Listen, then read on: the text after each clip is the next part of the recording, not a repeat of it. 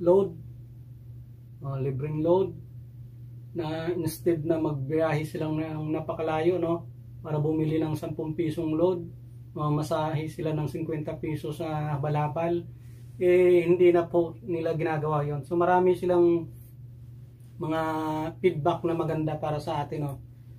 Kasi anytime na kailangan nila ng load, nabibigyan po natin sila kaagad-agad.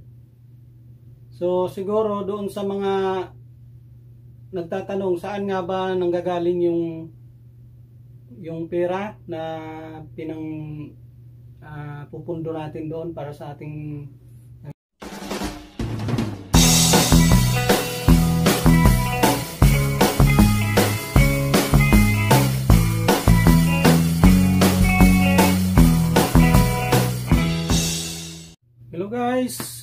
Kaputol TV nagbabalik. Isang, magand isang magandang umaga sa inyo, no? Isang malamig na malamig na araw sa inyong lahat. So, dito yung uh, temperature po dito sa amin is negative 15. Kagabi kasi guys, nagkaroon kasi dito ng snowstorm.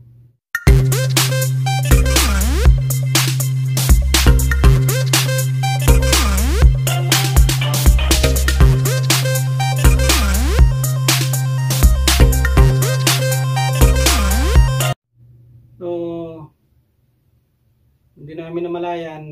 Kasi nga nasa loob naman kami ng kwarto. Kinabukasan magtitirapy ako. Eh nagtataka ako guys bakit walang taxi na makuha no? Uh, siguro mga sampung bisis na akong nagtawag ng taxi pero kakao taxi no? Pero laging kinakancel So to find out na talagang grabe po pala yung snow na nagdulot ng traffic sa kalsada. Kasi nga yung kalsada namin dito is hindi naman siya talagang main road kaya hindi siguro nadaanan nung uh, yung naghahawi ng snow pa tab, uh, tabi ng kalsada. So ayun napaka lubog ng kalsada namin dito sa snow kaya siguro yun ang dahilan kung bakit walang taxi na dumarating papunta rito sa amin. At saka napakarami rin na itala ngayong araw na aksidente sa kalsada no. Kasi nga puro dahil sa nangyaring snowstorm kagabi. So ayun, hindi natuloy yung therapy namin hindi na tuloy kami pumunta sa hospital kasi nga um, mag-aantay kami sa labas ng napakatagal eh, napakalamig. Hindi kayanin. So bumalik kami. Ready ready na pa naman sana ako ayun. So ayun lang guys yung ano hindi kami natuloy ng therapy ngayon. Saka ito i-take ko na rin yung opportunity no uh, na i-update kayo. Di, di ba po kung natatandaan nyo na mayroon tayong blinag na regarding doon sa ating pagtulong, ating advokasya, sama-sama tulong-tulong sa pagbibigay ng bagong pag-asa. So, ayun, sa awa ng Diyos, wala po tayong nakuha ano doon, no? So, guys, kung kayo po ay nanonood, kung paano kayo makatulong, sa pamagitan po ng isang pag, simpleng pag-share ng video eh baka sakaling makakuha tayo ng uh, may paabot natin sa may magandang puso o ginunto ang puso. Baka sakali. Pero huwag po kayo mag-alala.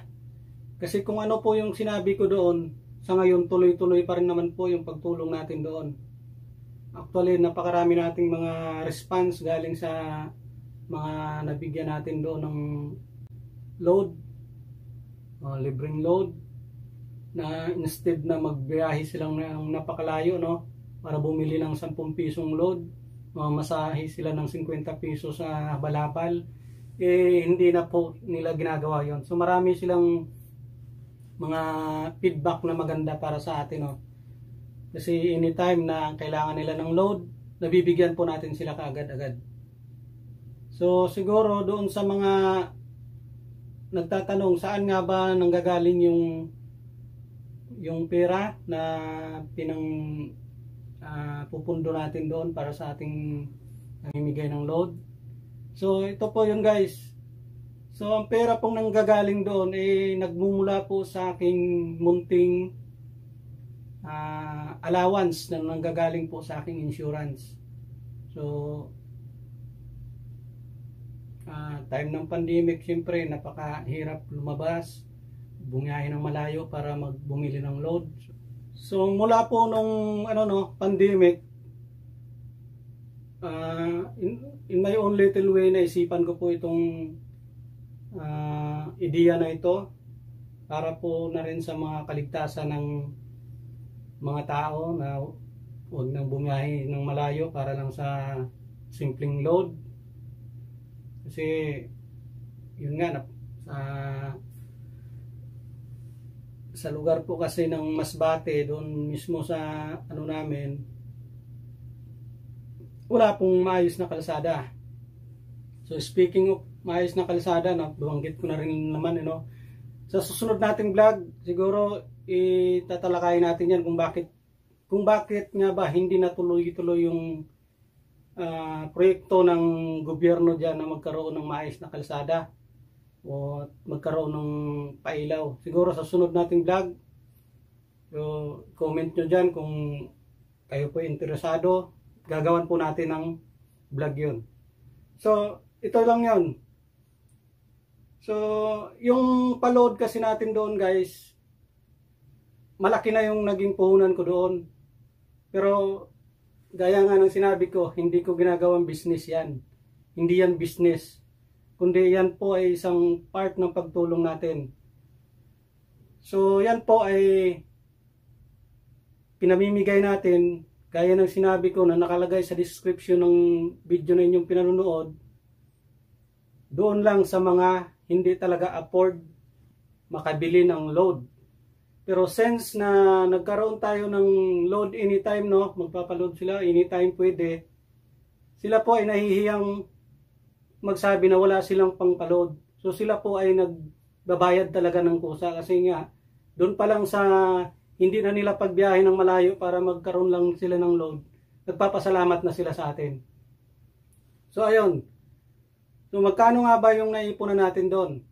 Ah, siguro guys, hindi ko sasabihin pero